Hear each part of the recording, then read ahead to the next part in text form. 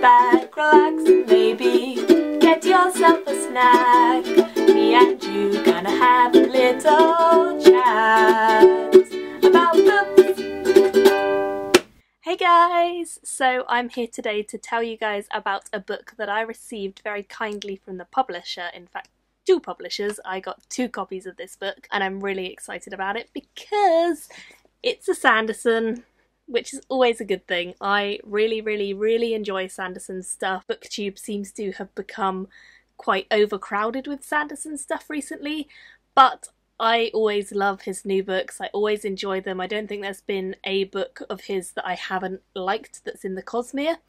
Basically, if you don't know what the Cosmere is, then Sanderson writes all of his adult books, or the majority of his adult books, in the world called the Cosmere, which is a whole entire universe.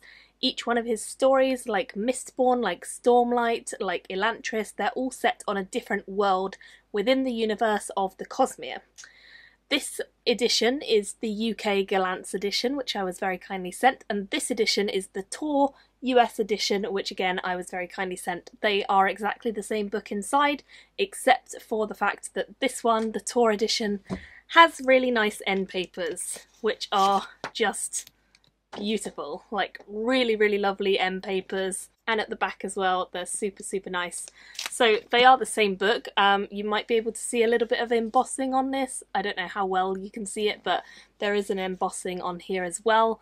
Otherwise, it's just sort of gold and super nice. The UK one doesn't have as much attention to detail, but I really, really like the illustrations of the covers for the UK ones, which I just think really match together well.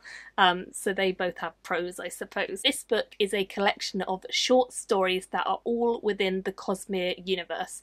Some of them are set on planets that we've visited before. There's a short story all about the Mistborn world called Allomancer Jack. There's a short story about Elantris, which is a follow-on from Elantris, so you probably shouldn't read that unless you've read Elantris. There's a short story which is actually a pretty long story called The Emperor's Soul, and I love that story. It's one of my all time favourite Sandersons ever. Like, I just love it, and I reread it for when I was reading this collection. And it was super good, just as I remembered. On the Mistborn one, there's also The Eleventh Metal, which is another short story, and we have Mistborn Secret History. Mistborn Secret History is spoilerific. Basically, this entire book is kind of completely full of spoilers for all of the other planets and stories that he's written in the Cosmere world. So if you haven't read all the Cosmere books, then you probably don't want to be reading this. That's my kind of disclaimer. Don't read this if you've not read other Cosmere things. I think this is the sort of book that you're probably going to only want if you are already a Sanderson fan because a lot of the stories they all make sense on their own individually but a lot of the main stories like the Mistborn series, Elantris, Stormlight, those three series and Warbreaker are all going to be potentially spoiled by some of the stories within this. There are some short stories you can read entirely without being spoiled. For example, we have Sixth of the Dusk in here, which is a completely spoiler-free story, so I like that one a lot. Um, I would say that The Emperor's New Soul is not spoilery. I would say that Allomancer Jack is not spoilery. Mistborn Secret History is massively spoilery, so you can't read that one. White Sand. White Sand is an interesting one because White Sand is actually a graphic novel that he's published. We just get an extract of it in here, so it looks like this. You can see that the black and white version of the graphic novel. I actually already own the graphic novel, which is this. It's called White Sand, and it is in full colour, um, as you can see. So this is basically the extended version, I suppose, of what you get in the book. You only get a snippet of it, um, and this is only volume one of what will presumably become a fairly long series. I don't know how many it's planned to be, but there's going to be more. As I said, The Hope of Elantris is spoilery.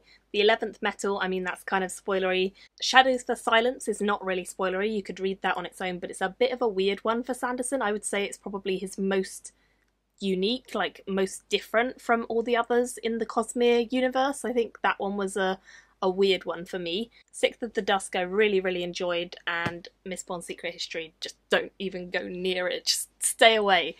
The other thing, as you probably realised, I've read all of those ones I just listed. The other thing in here is Edgedancer. Now, Edgedancer is quite exciting because Edgedancer is the new Stormlight Archive novella that he has released only for this collection, which is the main reason I wanted it because that was the only story I'd not already read, and it was really good. like, I really, really enjoyed Edgedancer. Edgedancer focuses on a character called Lift, who is from the Stormlight Archive. We meet her in the Stormlight Archive books, but we don't get to see a huge amount of her. So it's really, really cool to then go and see her story in this. It's kind of her origin story, essentially. Um, we follow her as she travels around and she's on this journey. And she doesn't really have the mindset of an adult. She's not really a make a decision and follow it through kind of person. She likes to be very spontaneous. She's quite witty, but she's also quite silly at times. She kind of just says whatever she thinks and doesn't really think about the ramifications or the consequences too much. She's quite impulsive, she's quite sporadic, she's quite a strange character. She reminds me a little bit of Auri from Kingkiller, but a more sporadic, crazy version, whereas Auri is a bit more whimsical aloof. I think this character of Lift is quite wacky and quite funny and quite engaging.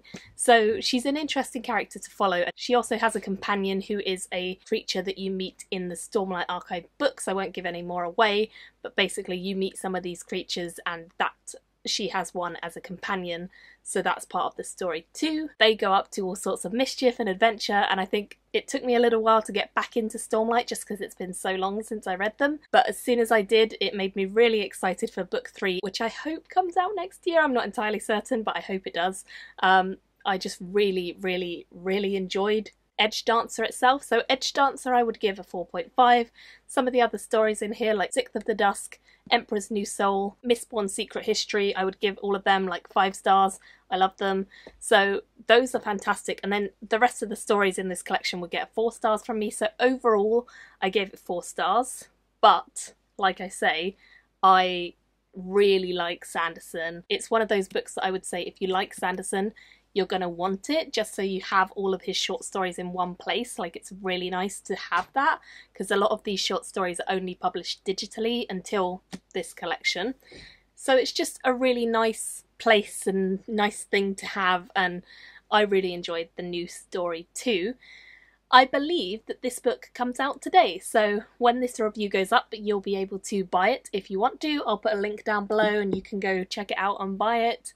I definitely would recommend it. I gave it a 4 out of 5 stars overall, but I think Edgedancer is worth it on its own because I gave that like 4.5, and as I say, some of the other stories are easily 4.5, 5 stars, 4 stars. They're all fantastic. I haven't got anything that's just a 3 or less, so all of it is a 4 star or more read. I would definitely say if you've not read these and you have read the other Cosmere full-length novels, then maybe give these a go because some of them really flesh out the worlds. One of the other cool things you get is maps of the universes. We have some illustrations from some of the books, and we have a page all about the Selish system, which kind of is written by someone very mysterious and very integral to the overall Cosmere storyline. Um, and this is the Selish system, so it really is quite a cool format where you have the system itself, the letter about that system with some observations, then you launch into the stories from that system, and then you go to the next system or planet or whatever it is and do the same thing. And I really, really liked it. So I am very grateful to have got this one from Gollancz in the UK. I am equally grateful to have got this one from Tor in the US because I've never had a Sanderson US copy before and I really, really wanted one and I like the cover of this one. Four stars from me. I'd love to know if you guys are going to pick it up. I'm sure many of you are. I'm betting that a lot of you are fans. Yeah, tell me down below if you're going to buy it. I'd love to hear your thoughts on it if you do and some of the stories within and I will chat to you all very soon. Thank you so much for watching. Bye! Thank you for watching my video today. Go pick up a book, then come back and chat with me again.